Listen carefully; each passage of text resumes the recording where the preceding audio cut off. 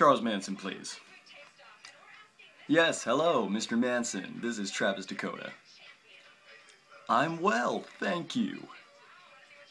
I understand you're getting married soon, and I was wondering if you already had a best man. If not, my services are always available. Yes, yes, you can reach me here at any time. Yes, thank you. I love you too, sir. What a nice guy.